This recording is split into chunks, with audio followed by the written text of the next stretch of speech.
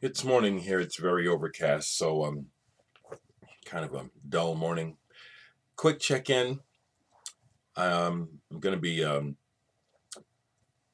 finalizing the artwork today with the artist. He says he can do it for me today. Um, hey, Dr. Deadwax, and also uh, Eddie and other folks from the vinyl community that have uh, recently friended me on Facebook. Thank you. Thanks for for um, for friending me. Uh, I haven't been over there too much lately, but I'll be back. Um, yeah, Dr. Deadwax, I'm going to be discussing with my representative from the uh, pressing plant about test pressings. They shorted me on my first order, and uh, they kind of owe me. And so if I can get some kind of um, guarantee, you know, or we're going to discuss it, you know, the issue with the last one. If, if I can get some kind of word out of them regarding um, my next record, I'm going to forego the test pressing because of cost. I'm not going to do it if I can't. No, I don't want to sacrifice quality. Of course, I don't want to do that. Mark, come on. No, you don't know me, so you don't know that. Yeah, I want the best, man. But I also got to be realistic. It's like, you know, fuck, you know. I hate how um, money just fucks everything up. You know, it's like, I want to make this record, but God damn it, I gotta keep the cost down so I can make a profit so I can do it again, you know. Not only make a profit to do it again, but make a profit so I can have some money to live on, you know what I'm saying? So I hate to I hate that that's part of the the uh, the equation of why I'm discussing whether or not to get a test pressing with this next record, but that's it. I won't be sacrificing quality because of money, if at all possible. I'll tell you that because that ain't how I want to roll. I'm just just facing the sad fact of the matter. It's just that, you know, economics runs everything, and economics are a shambles right now, worldwide. Leastways, that's the way it seems. So, anyway, um, a lot of activity, not watching much. I don't know why I feel like saying that. I just want to let people know that I care about you. You know what I'm saying? Won't be watching much today. Um, several things going on today. Meeting with the artist to finalize my artwork. I've got my studio cranked back up, working on some some new uh, some new stuff. Finally, I can't force it, you know. It just rises, you know. But um, some new sound ideas are um, are uh, have started, and uh, you know I like the creative process, but it it also frustrates me because sometimes it's very slow. I like it when it's fast. I like it when I get a strong idea. Don't always. And right now I'm not having strong ideas. I'm just having a strong urge to uh, get get some work started. So I've got some work started, and that's what I'll be doing today.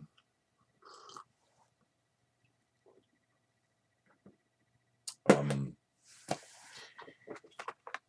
in response to Anders in Stock, Stockholm, who has uh, offered me some sweet records as an incentive to come to Sweden, well, I really do want to come to Sweden. And the way that I'm looking at it is like this my first, and I'm looking at it as hopefully a first, my first tour with Rick Agnew is being organized as we speak. We're starting with a Midwest jaunt um, for a number of reasons. But um, Rick and I have already talked about if things go well, the next thing we want to do is go to, to Europe and then to Japan. And so, because of my financial situation, uh, realistically, I have to kind of wait and see what happens with that stuff. Um, you know, I do have the money to buy a ticket to, to Europe, but that would not be very prudent of me to spend that money like that right now. But I'll tell you what, I very much want to come as soon as it can happen. It will not only to meet you, Anders, but to meet uh, Jonas.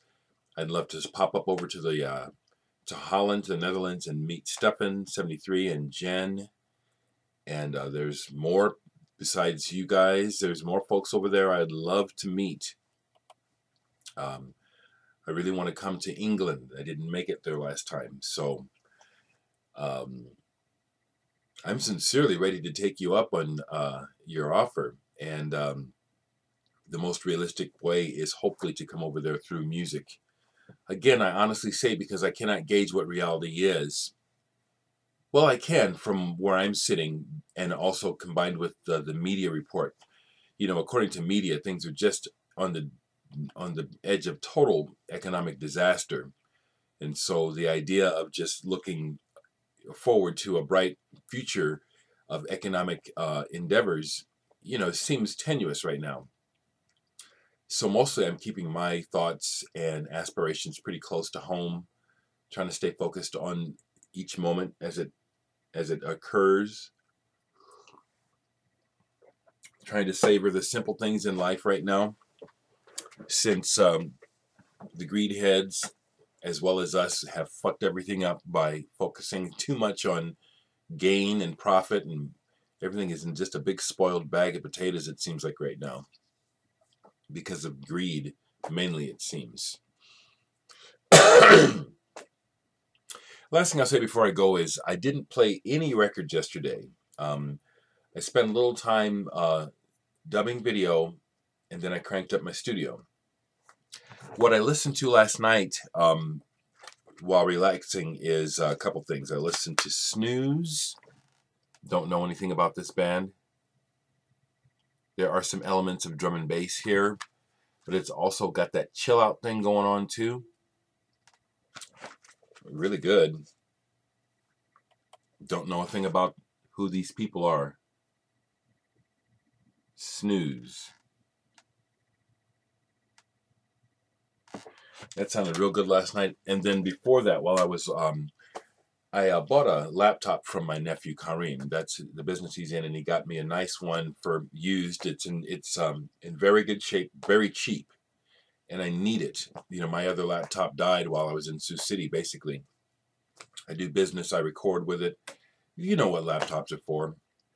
And while I was um, getting it set up, I, I listened to um, Mustt Mustt by Nusrat Fateh Ali Khan. Just beautiful. What a voice. What a voice.